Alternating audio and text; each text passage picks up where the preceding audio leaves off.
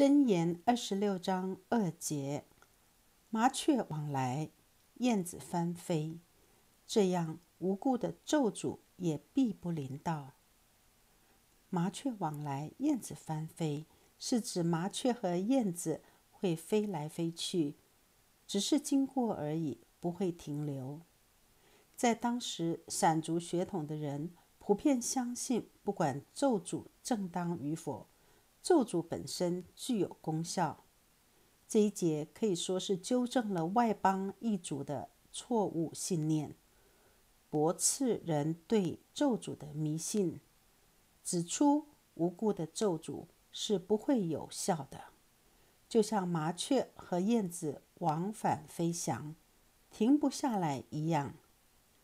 一个敬畏神的艺人，神是不会容许那些无故的咒诅淋到他们身上的。